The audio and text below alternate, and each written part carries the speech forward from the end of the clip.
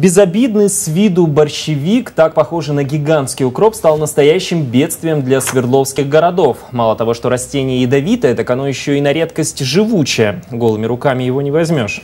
Сегодня эту проблему раз навсегда пытаются решить в Березовском. Там занимаются уничтожением опасной культуры. На месте находится наш коллега Владислав Изюменко. Влад, добрый вечер. Как успехи? Много ли работы?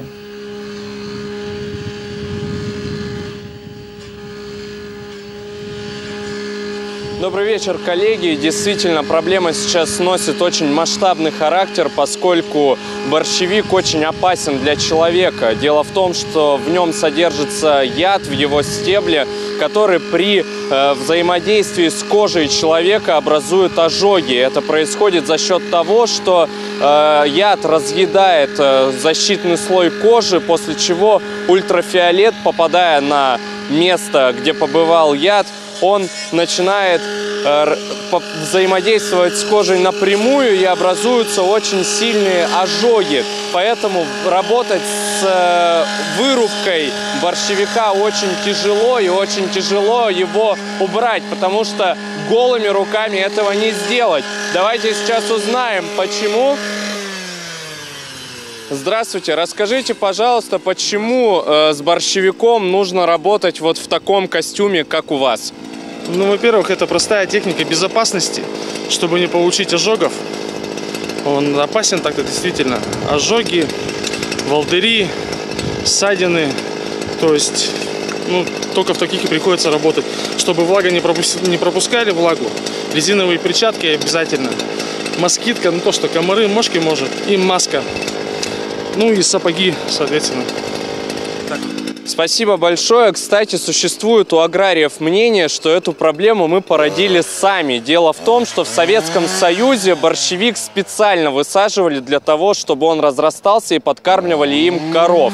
Таким образом, сейчас проблема набрала колоссальные масштабы. Большевик, борщевик разросся до того, что э, сейчас Березовский и некоторые районы Первоуральска в большой опасности. И как с этим бороться и что с этим делают, давайте спросим у представителя администрации Березовского. Здравствуйте.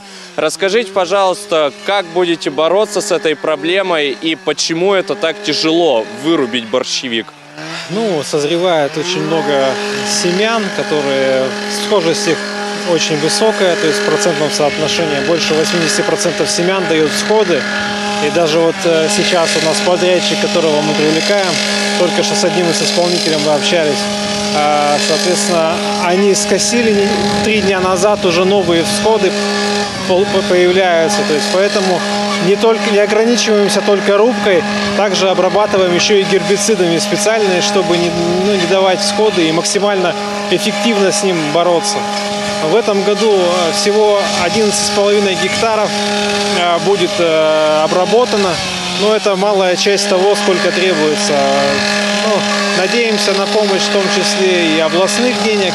В следующем году такая помощь, насколько мне известно, обещана.